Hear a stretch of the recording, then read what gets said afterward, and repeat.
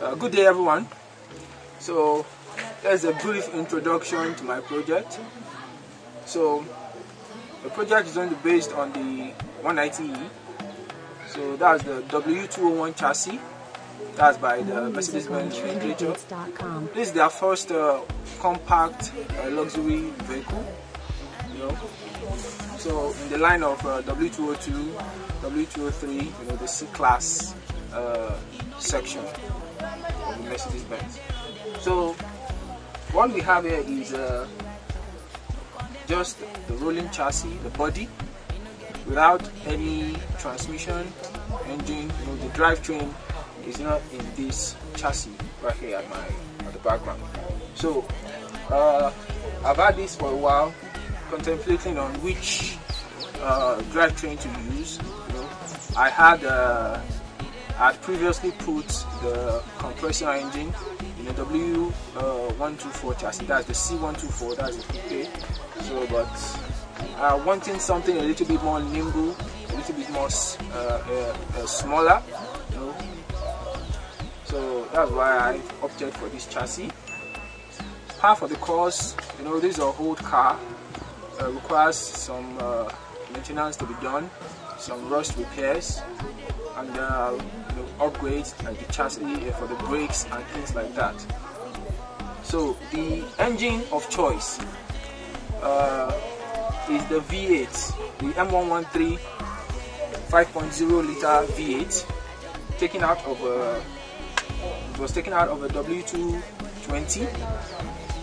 The W220 that's the S class, the S500. The reason I chose the V8 is because having played with the compressor engine previously, I decided to go for a naturally aspirated engine to see how it goes so that I wouldn't have to be playing with tubings, you know, intercooler piping and things like that.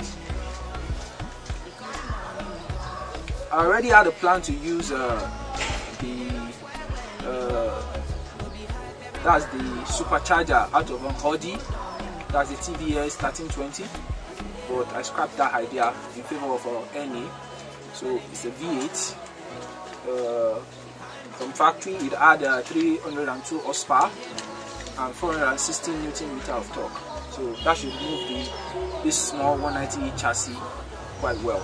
So I'm expecting uh, 0 to 60 in uh, in the I 5 uh, seconds. So 5.6 5.7 I'm expecting a sub 6 second 0 to 60 so that's that. So the chassis to make to fit this engine in this chassis there will be need for some modifications.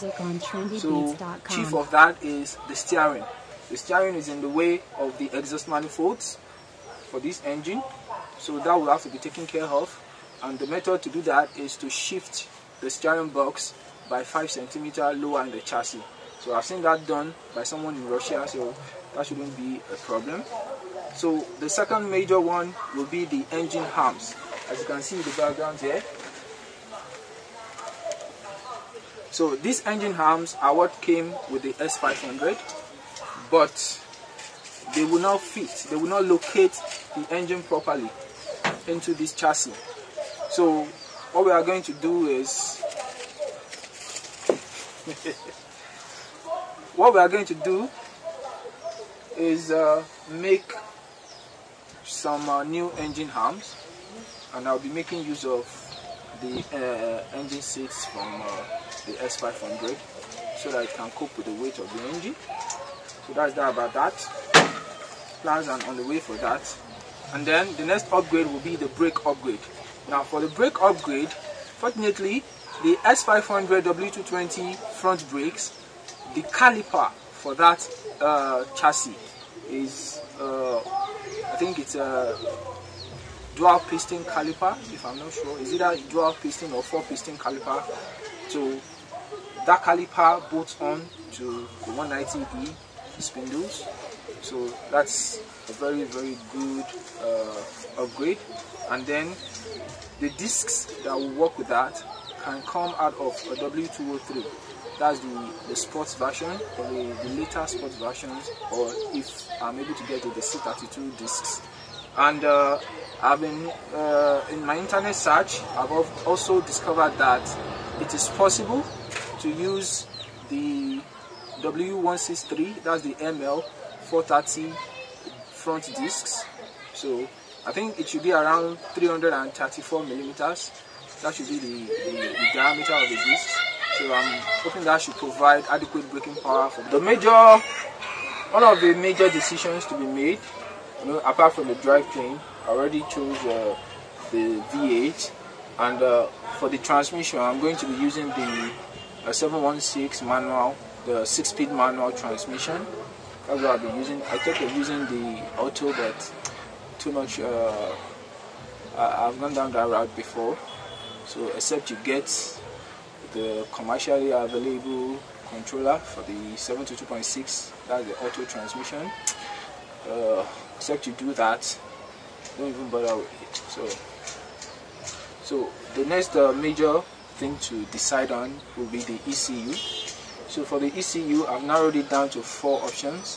When I say four uh, I mean the options I have considered. You know apart from the big names like the ECU master and things like that I will be I won't be looking towards that side because of the cost.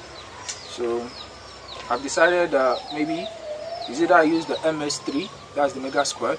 If I get the daughter board, I can always make uh, a, a motherboard for it myself. That shouldn't be too hard to do. Having uh, dabbled into electronics in the past, so and even in the present, when I say in the past, I mean I'm still actively uh, doing electronics. So then the next one will be the rusEFI, uh, the uh. So I love, I love that project. It's an open source ECU project. But the problem I have with that project is that the hardware, the, the, the, the entry level into the hardware is just too expensive. So they have uh, a micro rusEFI that's it can only do four cylinder. The injector channels can't handle dual injector per channel. So supposing I even wanted to use that one for uh, let's say paired injection injection so or wasted spark I wouldn't be able to do that because each channel can only take an injector you can't put two injectors because I think the uh, the current capacity of each channel is about I'm not sure maybe 2 amps 1 point something to 2 amps so not enough. So or I go to the Proteus the Proteus can do V12 engine both uh, sequential both uh, the uh, spark and uh, fueling but it's around $650 without even thinking of shipping yet. And it doesn't have a wideband or anything like that. So um, so rusEFI I might still use it if I get uh, some funds some free funds to put towards that. Then also the LPC8 that's Baldo I've used the LPC8 from Baldo before and I quite enjoyed it. So I passed it on to my friend. So but right now it's about 900 and something uh, dollars for the LPC 8 and it's only the LPC 8 that can do sequential hits. So and it also has a wideband also has uh, the electronic throttle control. So I love it but it may be out of my budget for now.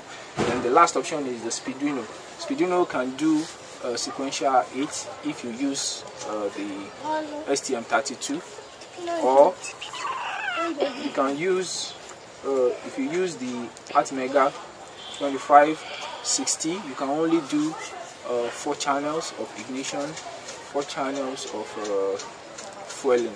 So you have to decide. If you do that you can only do uh, wasted spark and uh, semi-sequential for a V8 so and then the speed, you know, I don't know. People are kind of it's kind of a mixed bag with some people I have used Speeduino before I enjoyed it so I don't know so is it that the cheaper options comes with the is it that I use the Mega Squirt 3 and I make a board for it myself or I use Speeduino that's the cheaper route then the next in line will be the rusEFI and then the last option will be the LPC8 from Bowder. So when I decide which one to use, I'll update the channel. So right now, what I'm doing is preparing the engine and then making the mounts. When I'm done with that, I'm going to try to place the engine.